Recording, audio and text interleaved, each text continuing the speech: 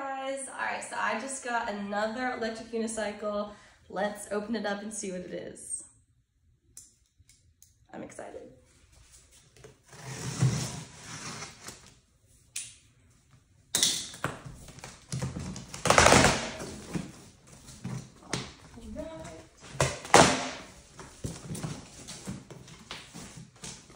It's exciting opening these. Let's see what we got.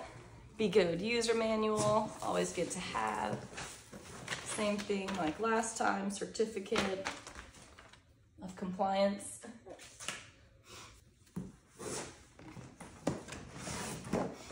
This right here, we got the charger, always important.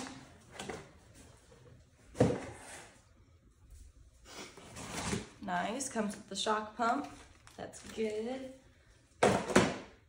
Let's take this bad boy out.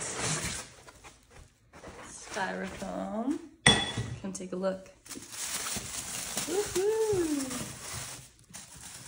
Looks good in there. All right, like last time. Let's see if I can get this out.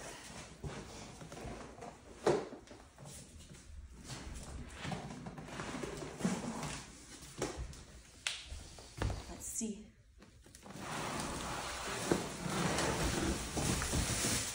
Oh yeah. This is badass. All right, guys, so this is the Begode T4. It looks a lot like the Master that I had open recently, but basically this is like a miniature version of it, so. Got some pads that they gave us. Nice pedals. Child hand, oh, it's gonna be awesome. I'm excited.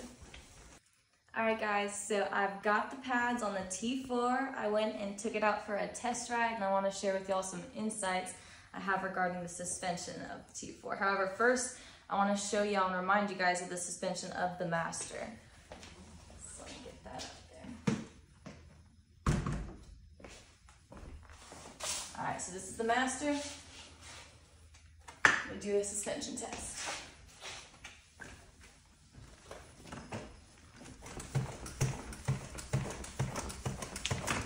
Oh yeah.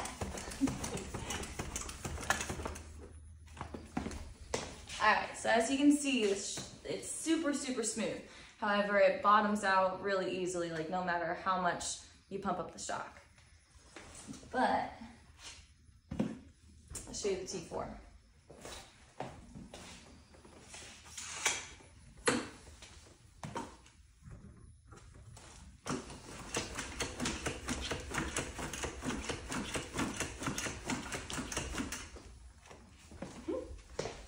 All right. So it's not as smooth as the Master, but it doesn't bottom out, which makes it way better than the Master. So side by side.